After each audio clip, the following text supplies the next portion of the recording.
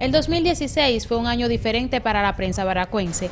Matthew significó un cambio rotundo para la rutina que engendraba el día a día en una villa que acababa de cumplir 505 años de existencia. Una experiencia más que se incorporó a mi carrera como periodista porque pude apreciar del peligro que se nos acercaba a nosotros, pero además fue una experiencia bonita eh, compartir con los periodistas jóvenes que nunca habían tenido eh, que vivir este, estos momentos tan trágicos como fue el paso del huracán Matthew por Baracoa. Tuvimos que poner a prueba nuestra capacidad de profesionalidad, de entrega, de sacrificio, de abnegación, dejar atrás nuestras familias sin saber lo que podía pasar en nuestras casas para venir aquí a cumplir con una misión que es la de, por supuesto, mantener informado al pueblo de todo lo que acontecía en Baracoa, no solo aquí, sino en el resto del mundo. Significó crecimiento, crecimiento profesional porque en mi caso particular pues tuve que trasladarme hasta el municipio de Maicí. Eh, para los que se quedaron en Baracoa también eh, significó crecimiento profesional porque nunca antes nos habíamos enfrentado a un fenómeno periodístico como este. Cuando el periodismo en Cuba intenta dar otros matices a su forma de contar, hacer y escribir, el gremio de la Primera de las Villas recibe el 14 de marzo, Día de la Prensa Cubana, con retos que afrontar. Tenemos también muchas deudas, digo yo, que debemos pagar.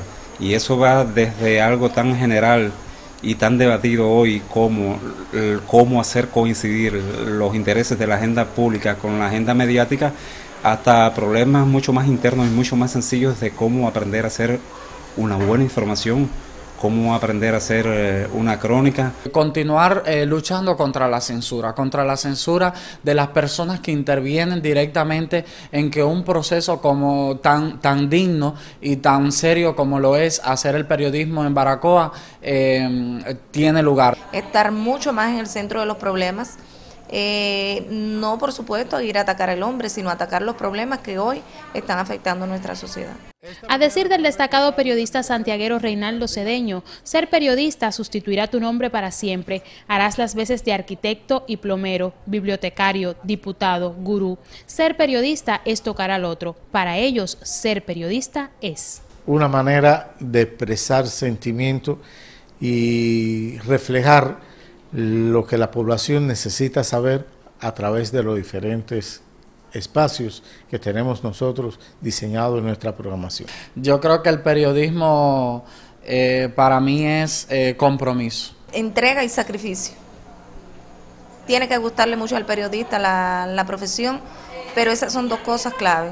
Pero sobre todo es mucha pasión desde lo personal, ya en lo social y en el provecho que puede dejar para ti y en las impresiones que te deja para ti como una manera de vida. Para mí el periodismo es lo que dijo una vez García Márquez, un deslumbramiento.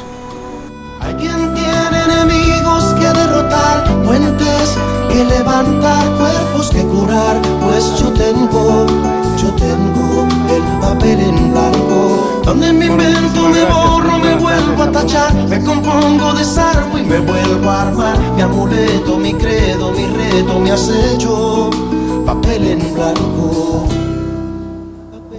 Desde Baracoa en Guantánamo, Rolvis Yasser y Mabel Toirac Suárez, Sistema Informativo de la Televisión Cubana.